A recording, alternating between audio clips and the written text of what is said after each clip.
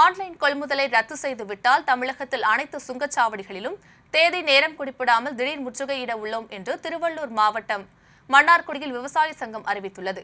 இது பற்றிய செய்தி தொகுப்பை தற்போது பார்க்கலாம். ஒன்றிய அரசு இன்னைக்கு நிதிநல அறிக்கை தாக்கல் பண்ணாங்க. நிதியமைச்சர் நிர்மலா சீதாராமன் அவர்கள்.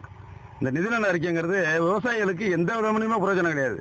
இந்த நிதிநல அறிக்கை அறிக்கைனால விவசாயத்துக்குன்னு எந்த திட்டமுமே கிடையாது. நாங்கள் எடுபொருள் இடுபொருள் வந்து நாங்கள் அப்படி ஃபிஃப்டி பர்சன்ட் மானியத்தில் கொடுக்கணும்னு கேட்குறோம் அதுக்கு என்ன செய்கிறாங்கன்னா அமைச்சர் அவர்கள் என்ன சொல்றாங்கன்னா நாங்க இயற்கை விவசாயத்தை ஊக்குவிக்கிறாங்கிறாங்க. ஒண்ணு. அந்த ஐந்து நதி இணைப்பு திட்டத்துக்கு கோதாவரி நர்மதா உள்ளிட்ட ஐந்து நதி இணைப்புக்கு நாற்பத்தி நாலாயிரம் கோடி நிதி ஒதுக்குறாங்கிறாங்க. அது இந்த மாநிலங்கள்லாம் கருத்தொற்றுமை ஏற்பட்ட பிறகுங்கிறாங்க. இந்த ரெண்டு வருஷம் அந்த உங்க ஆட்சி முடிஞ்ச பிறகு என்னன்னு எங்களுக்கு தெரியல அது. நாங்க கேட்கறது என்னன்னா நெல்லுக்கு குறைந்தபட்ச ஆதார விலை மெயினா நாங்க கேட்டோம். எங்களுக்கு கட்டுப்படி ஆகல உரவிலை ஏறிடுச்சு. எங்களுக்கு உறவு உழவு கூலி அதிகமாயிடுச்சு. எல்லாமே ரேட் ஏறிடுச்சு. டீசலை ஏற்றி விட்டீங்க நீங்க. அதனால குறைந்தபட்ச ஆதார விலை நாங்க கேட்டோம். வேளாண்மைக்குன்னு தனி நிதிநிலையே நான் கேட்டோம். எங்களுடைய இதுக்கு இதுக்கு எந்த கோரிக்கைக்குமே நீ சுகமெடுக்காத அரசாங்கம் கார்பரேட் நிறுவனங்களுக்கு ஏழு சதவீதம் பன்னெண்டு சதவீதம் வந்ததை ஏழு சதவீதம் வரியை குறைக்கிறீங்க. இந்த அரசாங்கம் வந்து கார்பரேட் கம்பெனிகளுக்கு அம்பானிக்கு அதனிக்கு உள்ள அரசாங்கமா இல்லை ஏழை மக்களுக்கு உள்ள அரசாங்கமா விவசாயிகளுக்கு உள்ள அரசாங்கமா என்கிற நீங்க தான் முடிவு பண்ணணும். புரியுதா இல்லையா? இந்த பட்ஜெட் வந்து எந்த விதத்துலையுமே விவசாயிகளுக்கும் ஏழை மக்களுக்கும் ஏற்ற பட்ஜெட்டே கிடையாது. இது எதுக்கு இது சும்மா உட்காந்துக்கிட்டு எல்லாத்தையும் நாங்கள் பட்ஜெட் நிதிநிலை அறிக்கை தாக்கல் பண்றோம்னு எதுக்கு இது ஒரு இப்போ இது காமிக்கிறீங்க? ஒன்றுமே இல்லைங்க அதில் கவரிங் நகைக்கு வரியை உயர்த்துறீங்க இறக்குமதி வரி. ஆனால் ஆபரண கற்களுக்கு வைரத்துக்கு வரியை குறைக்கிறீங்க. என்ன சார் நியாயம் அது? இந்தியா என்ன அவ்வளோ பெரிய நாளாக வல்லரசு வல்லரசுனடா எதுக்குனாலும் ட்ரோனை பயன்படுத்துகிறோம் டிஜிட்டல் முறையை கொண்டு வர்றோம்.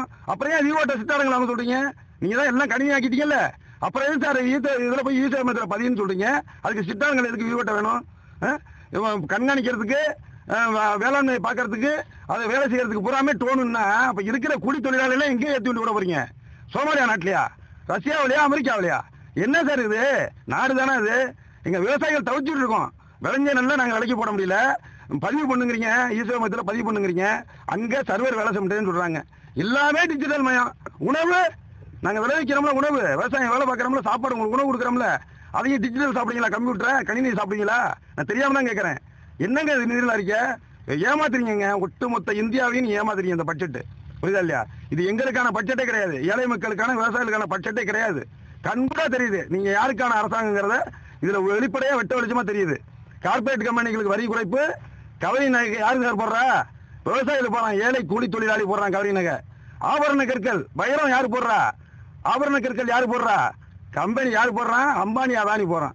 விவசாயிக்கு நாங்க என்ன பண்றோம்? இன்னைக்கு இவ்வளவு நாங்க நாட்டுக்கே கொரோனாவில் எல்லாம் முடங்கி போச்சு சார். நாங்க உயிரை விட்டுட்டு உணவுப் பொருள் தயாரிச்சோம். நாங்க உயிரை விட்டுட்டு வேளாண்மையை பார்த்தோம். அன்னைக்கு நிதி நிலைமையை உயர்த்தினது இந்த விவசாயம்.